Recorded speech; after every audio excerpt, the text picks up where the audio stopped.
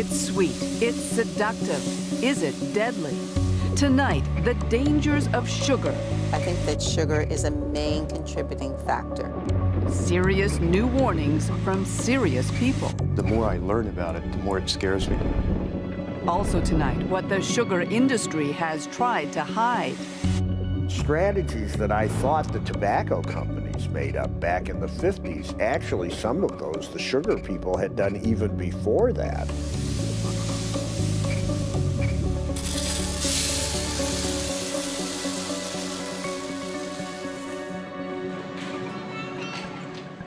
When the Breeden family goes shopping, like most Canadians, they try to buy healthy. Let's go. But like most Canadians, they don't always succeed. They're busy. Meals have to be quick. And then there's keeping the kids happy. The other Lucky Charms or the mini wheats chocolate? No, I want a lucky ones. Okay, Lucky Charms? Okay. You want, you want one that looks like half a moon? Or you want A lot of what they eat is processed. They assume it's nutritious, but they've never paid much attention to what's in the food they buy, have no idea how much sugar is hidden in it. All right, guys, so I want, I want you to just kind of start by telling me a little bit about uh, some of the groceries that you got today and um, where Registered dietitian Jacqueline Pritchard there. is about to help them figure it out.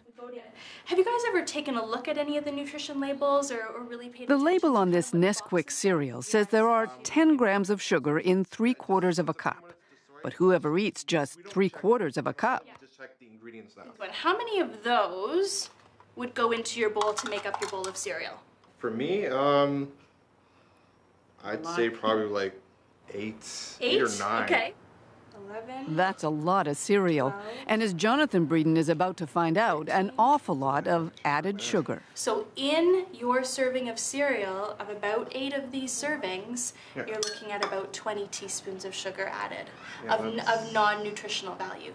That's a lot. Yeah. So let's start at the beginning. What do we mean when we say sugar? Well, whether it's the white stuff that you bake with or the brown stuff that you sprinkle on your oatmeal, whether it's honey, molasses, syrup, maybe the high fructose corn syrup you've heard of, there's a lot of that in things like pop.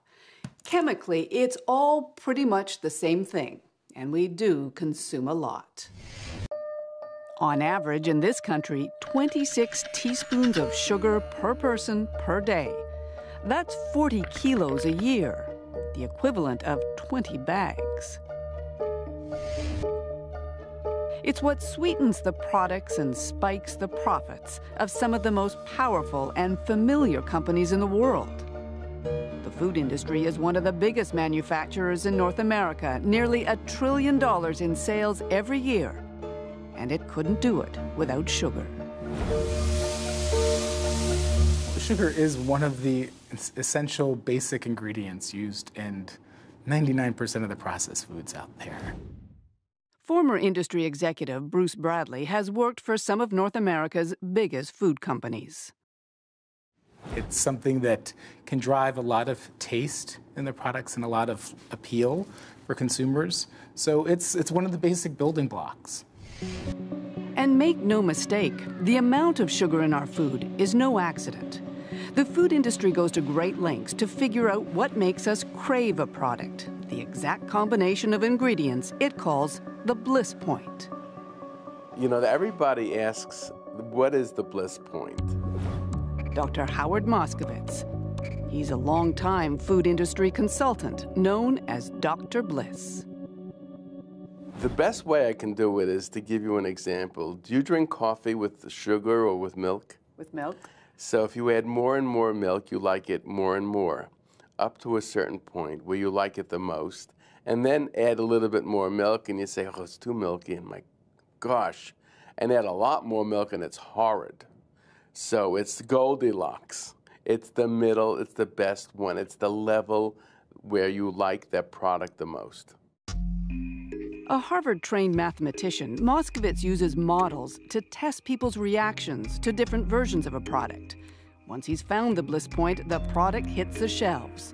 From soda pop to spaghetti sauce, his magic makes money. Everybody wants to sell just a bit more. How do you get that immediate increase in acceptance? Those in the know realize you can add a little sugar.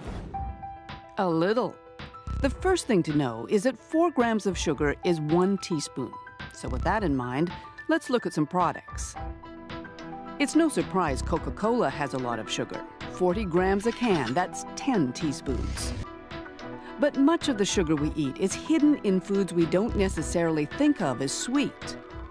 This oatmeal, three and three quarter teaspoons of sugar a bowl. This vanilla flavored yogurt, nearly five teaspoons in just half a cup. You can find sugar added to bread, soup, all kinds of condiments, hot dogs. This chicken dinner, labeled healthy choice, has five and a half teaspoons of sugar in every serving.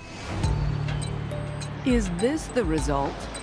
There's no question as our consumption of sugars has grown, so have our bodies. Canada doesn't keep good statistics, so we've used American ones. And those stats raise the troubling question are we changing our evolutionary shape? Here's the line showing our sugar consumption for the last 50 years. Here's the number of people who've become overweight and obese. Now, look at this line. It's for cases of type 2 diabetes. And this one, diseases of the heart. Back in the 80s and 90s, we used to blame a lot of those problems on dietary fat. But then we started taking fat out of our foods. Did the incidence of disease go down? No. So that got a lot of doctors and nutritionists asking why. The answer, according to an increasingly vocal group, is sugar. Which was worse, the sugar or the fat? The sugar a thousand times over. Robert Lustig, doctor, author, medical professor, and one of the leaders of the anti sugar campaign. The fact is, our food supply has been altered and adulterated under our very noses and in plain sight over the past 30 years. In addition to treating obese kids, Lustig is a YouTube sensation. His lecture on sugar has been seen by nearly 4 million people around the world, and he doesn't pull his punches. The fat's going down, the sugar is going up, and we're all getting sick. You use words, you use poison, you mm-hmm. use toxic. Mm-hmm. Certainly, I use those words and I mean them. I'm, this is not hyperbole. This is the real deal. Everyone thinks that the bad effects of sugar are because sugar has empty calories. What I'm saying is, no, actually, there are lots of things that do have empty calories that are not necessarily poisons. Poisonous, he says, because of what too much sugar does in our body. So let's take a look at that. Sugar is made up of two molecules, one called glucose, here in blue, the other fructose, in red. When they separate in our gut, the glucose circulates throughout our body, feeding our muscles and our brain the fructose goes right to our liver, and it's in the liver where all kinds of problems begin. When you metabolize fructose in excess, your liver has no choice but to turn that energy into liver fat. And that liver fat then causes all of the downstream metabolic diseases. We'll tell you more about those diseases in a moment. But first, let's talk about your brain. Too much fructose, says Lustig, shuts down the part of your brain that tells you when you're full. It doesn't get registered by the brain as you're having eaten. So, if you take a kid and prep them with a soft drink and then let him loose at the fast food restaurant, does he eat less or does he eat more? Turns out he eats more. There's a long way to go before um, the literature is sorted out. Phyllis Tanaka speaks for the biggest food companies in Canada. She doesn't buy Dr. Lustig's theories and doesn't think consumers should either. I think it's more important that we step back and look at how do we uh, look for ways to educate and help consumers fit sugar into a healthy dietary pattern. But the industry sure doesn't make it easy. Look at this breakfast bar. There's sugar near the top of the ingredient list, but there's four more sweeteners. Would you know that chemically they're all the same?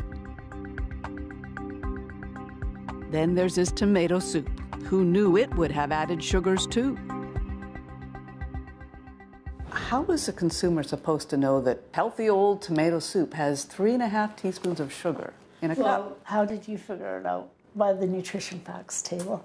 I figured that out because I've spent a lot of time recently learning about what a gram of sugar is and how to Yeah. read these labels. Do you think most people know how to do that? In the last couple of years, we engaged with Health Canada on a, a campaign called the Nutrition Facts Education Campaign, in large part as a commitment to help Canadians understand how to go into the grocery store and make informed choices. But surely there is a way to, to warn people who might be interested in this that a cup of this of this soup brings you three and a half teaspoons of sugar. To what end, though? Well, if, if they have decided that as part of their healthy diet they want to eat less sugar. Well, uh, let me see. Then they would use this same um, uh, Label. label. The only information on the label is 14 grams of sugar in half a cup. Do you know what that means? You shouldn't have to be a dietitian to figure out how much added sugar you're eating, but it helps. Jacqueline Pritchard has added up all the sugar Jonathan eats in a week. It's pretty scary. This is your week's worth of sugar intake then. So this is equal a to lot. 245 um, teaspoons of sugar. That's a lot of sugar. When we come back, what all that excess sugar might be leading to.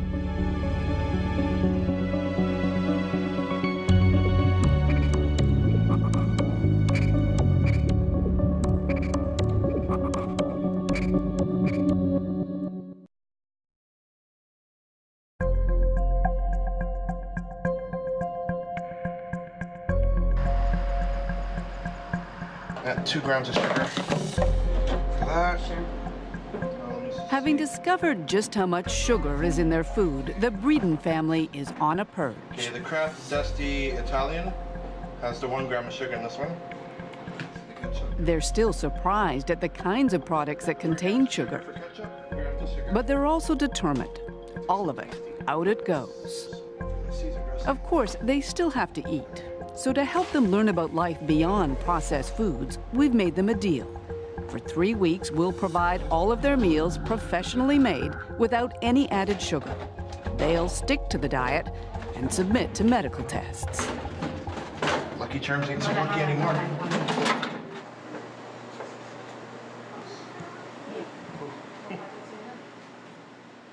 They're only in their mid 20s, but according to medical standards, both Jonathan and Anna are technically obese. Five year old Ruby is hovering on the edge. We started our experiment by having their blood tested and analyzed by obesity specialist Dr. Dan Flanders. The family, he says, is heading for trouble. Looking at these results, I would say that I'm very concerned. Quite frankly, if they don't make meaningful change to their lifestyle relatively soon, um, there's a higher chance that they're heading for a life of lousy quality of life and early death. Like most of us getting fatter and sicker, the Breedens might be forgiven their nutritional ignorance. But the food industry has known and discussed links between processed food and disease for decades.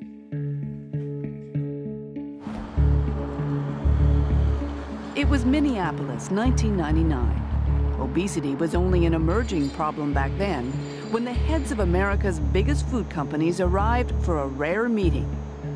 Among them, the heads of Kraft, Nabisco, Nestle, Coca Cola, and General Mills.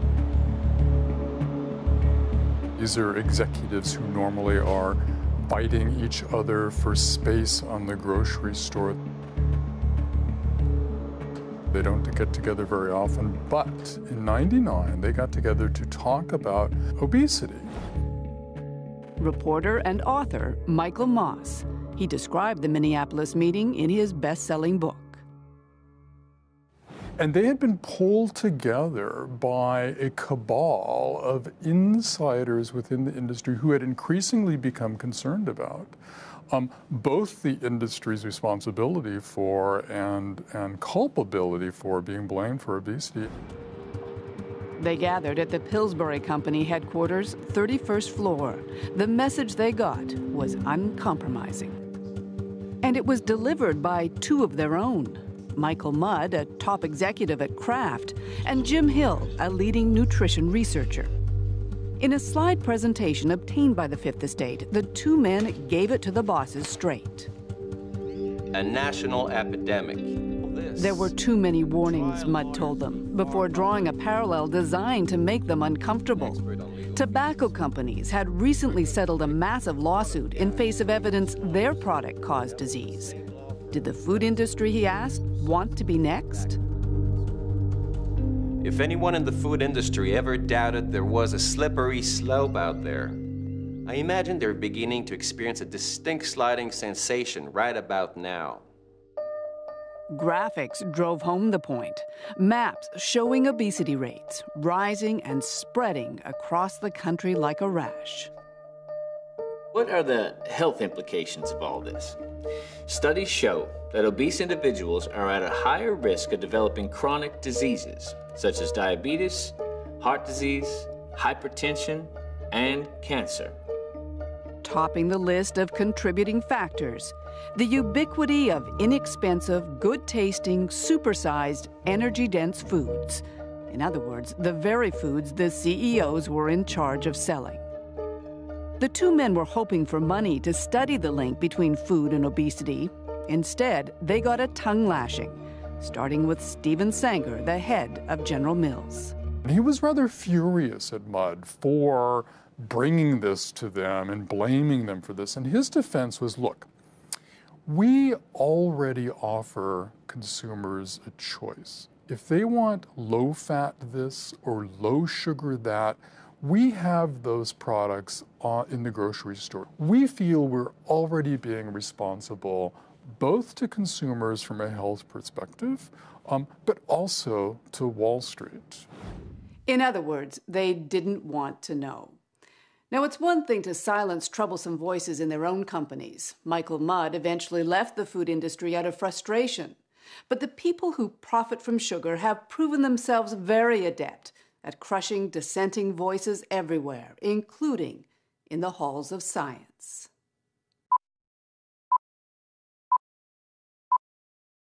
in front of us day by day are uh, increasingly more and more very tempting foods. Mm-hmm. His name was John Yudkin, a British nutritionist who in 1972 wrote a book the sugar industry did not like.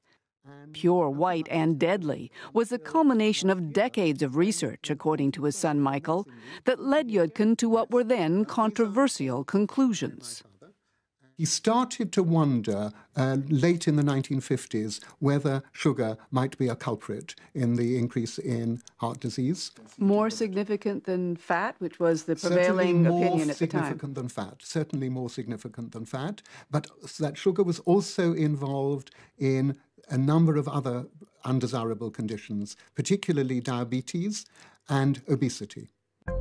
That thesis soon put Yudkin in direct conflict with Big Sugar's biggest apologist, this man, American nutritionist Ancel Keys. Keys would later be exposed as having been funded by the industry, but not before he helped destroy John Yudkin's reputation. And as early as the 1950s, he had started producing publications suggesting that dietary fat was a problem. Award winning science writer and author Gary Taubes. Keys successfully managed to detain Yudkin with this smell of quackery. And from then on in, anyone else for the next 20, 30 years who did research on sugar was accused of being just like Yudkin. There was a systematic campaign to discredit or ignore his work. Because of the actions of the sugar industry in the 70s, virtually no research was funded. You know, this idea that if you study sugar, you're just like Yudkin and he was a quack. But that's remarkable. I mean, what you're saying, scientific investigation into the link between sugar and, and disease ground to a halt? It ground to a halt. When we return, the science is back. What happens when you take healthy students and feed them too much sugar?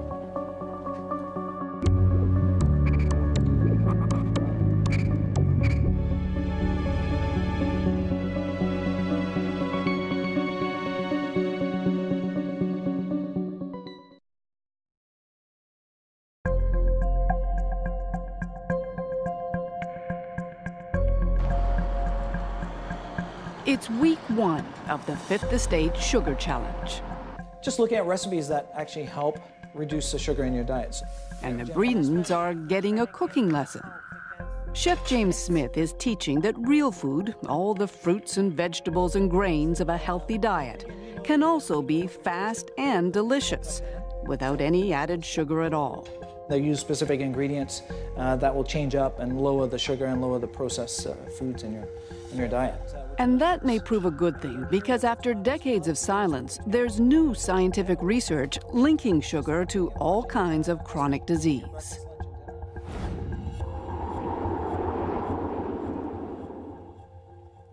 Jonathan's blood work suggests he may be on the verge of getting one. Dr. Dan Flanders. His results suggest that he's pre diabetic, that his levels have been high, and that if we don't make some changes to his lifestyle soon, uh, diabetes is coming. Today in North America, it's estimated more than 100 million people are diabetic or pre diabetic. Dr. Robert Lustig is quite sure he knows why. So I can actually categorically say to you that sugar is the proximate cause of diabetes worldwide. And we have hard and fast data to show that. His data come from his own study done over a decade, comparing diabetes rates in 175 countries with people's diets. And we ask the question when you adjust for all of the factors that we know are relevant, what about the food supply predicts diabetes rates worldwide? Answer sugar, and only sugar. These studies are generally considered a very weak level of evidence. A lot of other things have happened at the same time. Toronto researcher Dr. John Sievenpiper. He argues Lustig's methodology is seriously flawed methodologists would tell you uh, there's uh, a lot of potential bias. And I could give you one example. Over the same time as sugar has gone up, so has bottled water. But there's no real biological plausibility in the link between bottled water and overweight and obesity. So it's not, a, I don't think, a sound uh, finding. But we have to be careful in putting too much of the biological plausibility and wanting to believe patterns that we see. His point is it's hard to know what causes disease, and ethically, you can't induce it to find out. But you can test for markers, warning signs that disease may be coming. And that's what they're doing here at the University of California at Davis.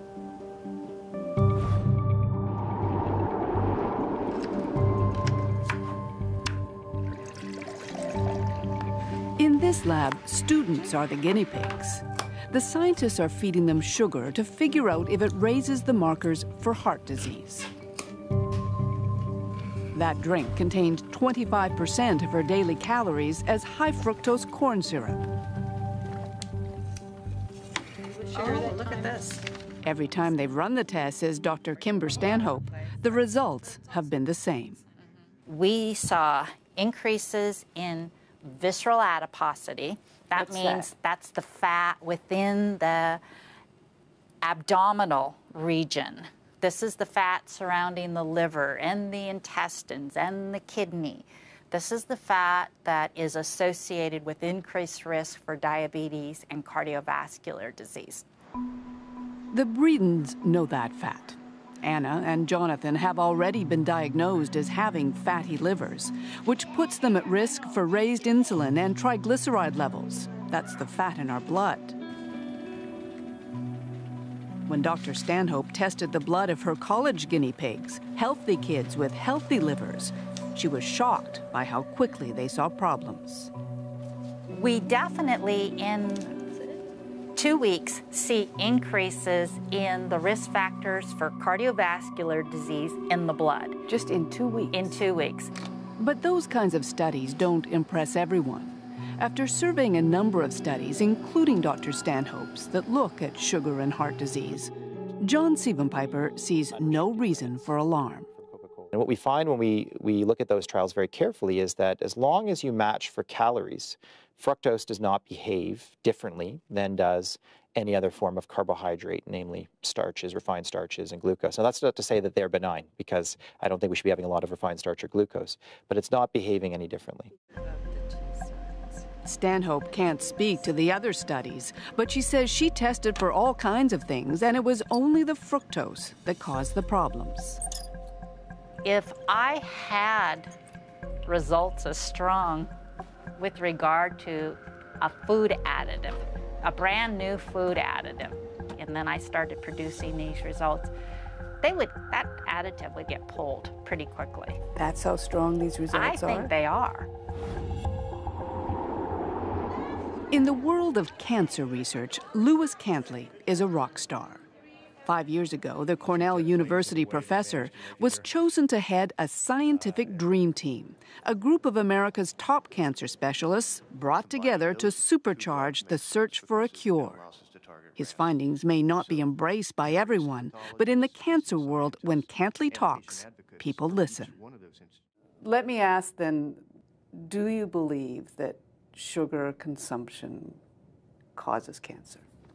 I think, yes, I think that uh, eating too much sugar can definitely increase the probability of cancer and also make the outcome of people who already have cancer uh, out worse. So, how? Well, let's review what sugar's made of one molecule glucose and one fructose. We know that when there's too much fructose in the liver, it sets off a chain reaction. Pancreas produces more insulin, what Cantley now believes is that excess insulin changes cancer tumors, telling them to gobble up the glucose. What we're now learning is that some of the cancers, particularly those cancers that correlate with obesity and diabetes, often have insulin receptor on the cancer cell. The tumor, by expressing the insulin receptor, tricks the glucose into going into the tumor rather than the muscle and fat. And as a consequence, the tumor can use that glucose as a fuel to grow. So if sugar can fuel existing tumors and make them grow, can it also cause tumors to form in the first place? The science on that isn't as clear yet, but Cantley's taking no chances. It scares me, yes. I think if definitely, uh, for example, I don't, you know, I'll eat fruit. Fruit has sugar in it, obviously. Uh, but if I can avoid any sugar at all in any drinks that I drink or foods, I try to avoid processed foods because it's hard to find one that doesn't have sugar in it. Um, I certainly avoid sugar when I can.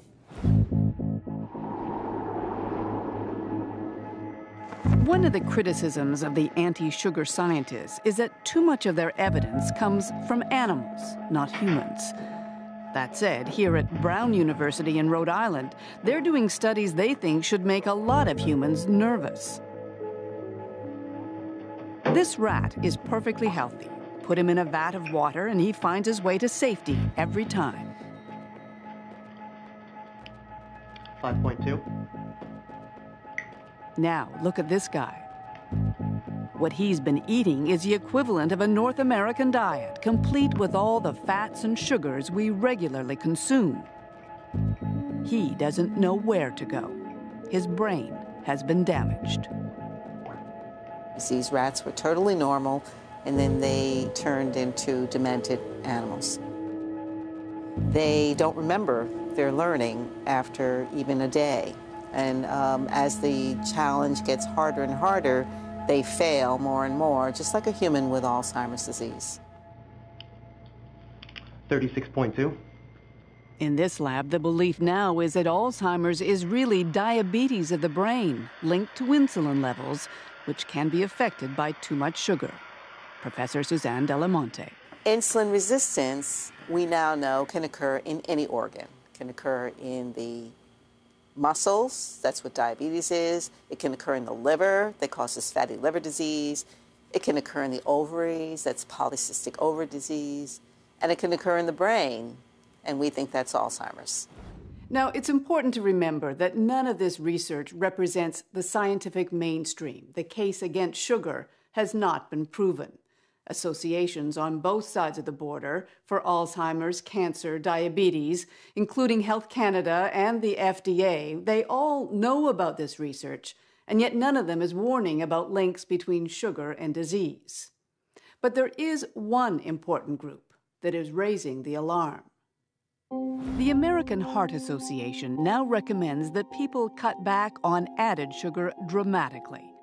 Women should have no more than six teaspoons a day, men, nine. Don't forget the total sugar intake in this country per person is 26 teaspoons a day. And yet, the Canadian food industry remains unimpressed. We've talked to people who are quite convinced that there is a relationship, a correlation between sugar and diabetes and heart disease, cancer, uh, dementia. Mm-hmm. What happens if those people are right? Uh, at this point in time, I'm comfortable saying that the science just isn't there to support a role in chronic disease. When we come back, government goes on the attack.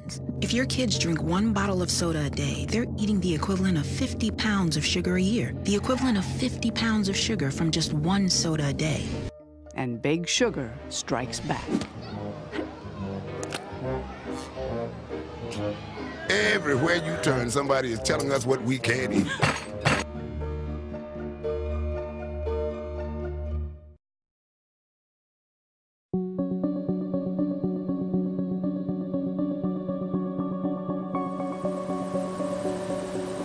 Worldwide, there are few industries more powerful than the processed food industry, or the sugar industry that feeds it.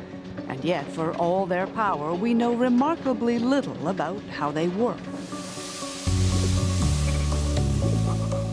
Cristin Couzens is determined to change that. As a community care dentist in Colorado, she'd always been interested in sugar. But it wasn't until she unearthed a stash of documents from a sugar company that had gone out of business that she got a peek into a very secretive world. The first folder that I pulled out opened up to a memo, the blue letterhead of the Sugar Association, and it had the word confidential underneath the letterhead. And I just looked at that and I, oh my God, you know, what have I found? What she'd found was a directive from the 70s, a memo to industry executives about a newly published scientific white paper, a paper that concluded sugar was not only safe, but important it was clear after reading further that the Sugar Association had funded this white paper called Sugar in the Diet of Man, and they were trying to make it appear that it was an independent study. Among the more than 1,500 pages she uncovered, there were some Canadian ones too. An account of a sugar industry meeting in the 70s in Montreal that included frank talk about heart disease.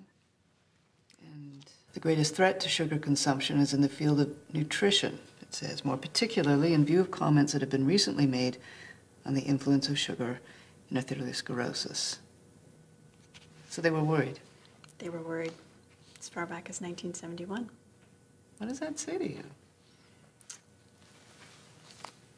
They've known for a long time.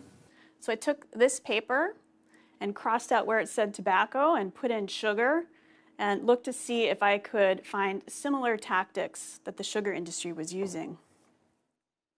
Today, Couzens is pursuing her research at the University of California in San Francisco. And she's doing it under the tutelage of someone to whom it all sounds familiar. The amazing thing I learned from her was the strategies that I thought the tobacco companies made up back in the 50s. Actually, some of those the sugar people had done even before that. Well, you know, now we have 83 million pages of industry documents that's on the internet. We don't bother. Stan Glantz is famous in litigation circles as a man who first publicized secret tobacco industry documents that prove cigarette companies knew their product was dangerous. In the new sugar documents, he sees lots of parallels. Well, one parallel is just trying to undermine science. Another one is working to try to attack and intimidate scientists and others who are coming up with results that, the, that these big corporate interests don't like. Another one is trying to subvert sensible regulation. The sugar industry has decades of practice in that. In 2003, the World Health Organization in Geneva was looking at a resolution recommending people reduce their sugar intake to just 10% of what they eat. It had broad appeal among health experts, but then the industry weighed in.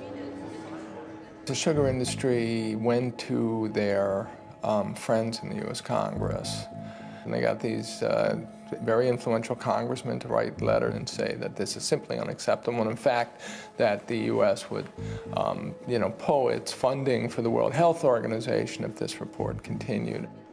Five months later, the recommendation quietly disappeared. Having seen the movie before, Stan Glantz says we can't afford to let it happen again.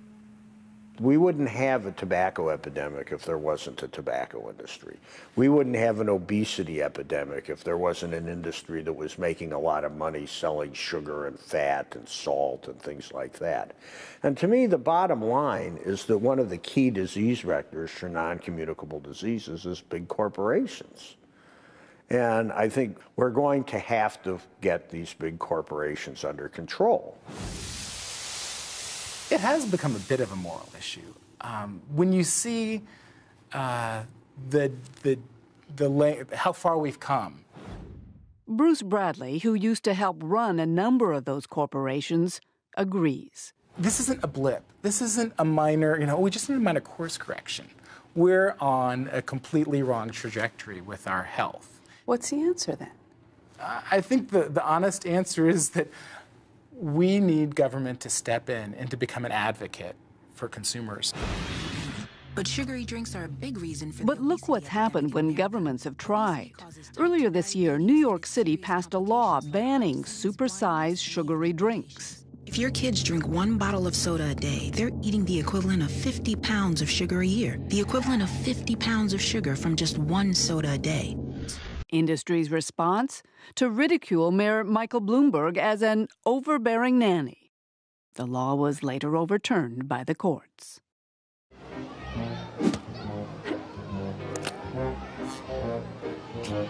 Everywhere you turn, somebody is telling us what we can't eat. But advocates keep on trying. Two weeks ago in Washington, congressmen calling on the government to help consumers by demanding better labels very least recommending a daily limit for how much sugar is safe. In Canada and the US, those limits exist for other ingredients like fat and sodium. Manufacturers must say what percentage of the recommended daily limit their product contains. But next to sugar, nothing. Would your association representing the big food manufacturers in, in this country, would they accept a upper limit of how much sugar Canadians would should I think be that that's kind of hypothetical because well, people are putting on the table saying this is one way to, if you want to curb the amount of sugar people are eating, this is one way to, to start doing that. I think the industry actually has responded to the need for uh, a diverse supply of foods out in the retail marketplace. Across our portfolio of more than 650 beverages, we now offer over 180 low and no calorie choices. And most of our Today, even Coca-Cola, the world's largest sugar user, knows it can't ignore the health debate anymore. We'd like people to come together on something that concerns all of us, obesity. Coca-Cola and But the bottom line hasn't changed. If you're getting sick from what you eat, it's your fault. For people to, for, to blame the consumer, to blame the victim in all of this, just as the tobacco companies blame the 12-year-olds they go out and addict, it, it, it's just not fair because people aren't given the information that they need if they're trying to make a, a, a good choice. As with tobacco, at some point it will all come down to lives and to dollars. The reckoning, warns Dr. Lustig, is coming. Bottom line there will be no money left by the year 2026 for anything else because diabetes will have chewed through all of the healthcare dollars. There will be no health care in 13 years here in America if we do nothing, and I'm sure Canada is right behind. For three weeks, the Bredens have been eating the food we've supplied. How much steak do you want, Anna? They're still eating the kinds of food they like, as much as they like. The only difference, none of it's processed and none has added sugar. Okay, well, then eat some of mine because it's not too hot. Hot. So, has it made a difference? The moment of truth. In three weeks, Jonathan lost one and a half inches around his waist, eight and a half pounds. Yeah. Anna's weight is down too, and her waist, where all that dangerous fat can accumulate, is down by five inches. And what effect did all that have on their blood work? Dr. Flanders, nice to meet you.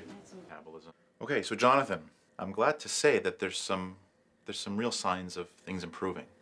If we have a look at your cholesterol level, it's actually gone down by 10%, which is fabulous.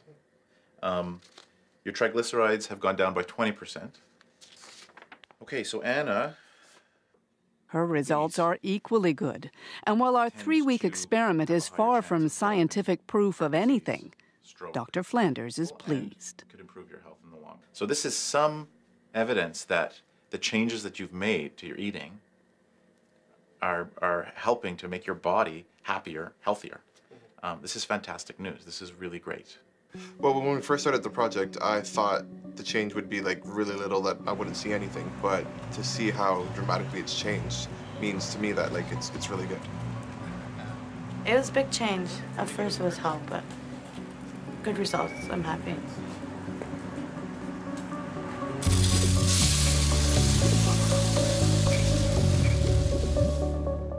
So, we're guessing you've got a lot of questions about now. If our program's whetted your appetite to learn more about sugar, you should go to our special web feature. You can find all kinds of information about what sugar does in your body, for instance, even that low sugar diet our family was on. You can find it all at cbc.ca slash fifth. But for now, stay with us. The Fifth Estate will return.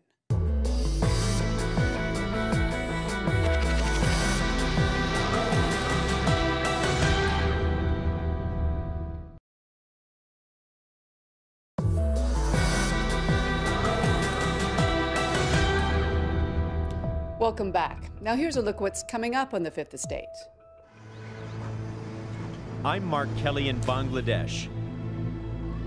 This mountain of rubble is a monument to the 1,100 lives lost here last April when this garment factory collapsed, unleashing the stories that had long been locked inside. A thousand people died. No one said a thing. Do you recognize these shorts? We meet the people who make your clothes and find out where those clothes were really made. This is your address. This is where this came from. The truth that retailers don't want you to know. You've been hit. You've been hit. You've been hit. Do any of you worry that one day you may die in your factory? Of course. Of course. Of course. Dangerous factories and dark secrets made in Bangladesh. Next week on The Fifth Estate. Now, don't forget to visit our website. It's at cbc.ca slash fifth. You can also find out about the Fifth Estate on Facebook and on Twitter. I'm Gillian Findlay, and for everyone here at the Fifth Estate, thanks for watching. We'll see you soon.